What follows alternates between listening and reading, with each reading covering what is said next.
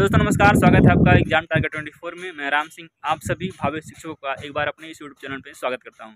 दोस्तों, इसमें हम दो चीज़ों पर बात करने वाले हैं। पहली बात क्या है? पहला ये है कि जो है, जो फार्म, जो सर्वर नहीं चल रहा उस पर काफ़ी सर्वर बैठ चुका है, सर्वर डाउन हो चुका है। और दूसरी बात है एग्ज़ाम डेट को लेकर के, कि आपके पास टाइम बहुत कम है, आप जो है, तैयारी कैसे करें, जैसे कि आपका एग्ज़ाम क्लियर हो सके।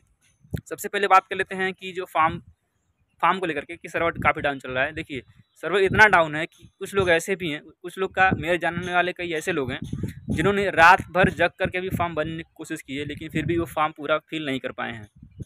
ठीक है, पहली बात ये। तो आपको क्या करना है, इसका सोल्यूशन क्या है? आपको ट्राई करते रहना है। आप ट्राई करते रहिए रात में दो बजे, तीन बजे, चार बजे, जब भी आप देखिए सोल्यूशन यही है, क्योंकि जो है एग्ज़ाम डेट बढ़ने की कोई संभावना है नहीं। ठीक है? आपको कोशिश करते रहना है ताकि आप फॉर्म फिल कर सकें। और यदि आपने फॉर्म फिल कर दिया तो बहुत अच्छी बात है। नहीं किया तो कोशिश करते रहिए। पहली बात ये हो गई। दूसरी बात है एग्ज़ाम डेट को लेकर के। एग्ज़ाम कब से होना है? देखिए एग्ज़ाम को लेकर के आप कन्फर्म रहिए कि आपका जो अगस्त में जो डेट आया था, आप नोटिस ऊपर देख पा रहे हैं स्क्रीन पर इसी डेट पर आपका एग्ज़ाम होना है। तो आप जो है, तैयारी कंटिन्यू करते रहें। तैयारी में कोई भी ढिलाई ना दें कि एग्ज़ाम डेट एग्ज़ाम पोस्टपोन होगा कि नहीं होगा, क्योंकि आयोग ने पहले बता दिया कि एग्ज़ाम डेट क्लियर है।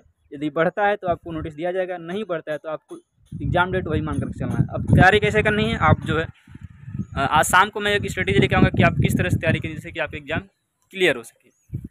उसके साथ साथ कुछ सीटेड वाले भी लोग हैं जिन्होंने तैयारी कर रहा है यारी नहीं की थी और तैयारी इस समय बिहार शिक्षक भर्ती और जो है सीटेड के साथ साथ कर रहे हैं। तो उस उनको भी कैसे कर, तैयारी करनी है?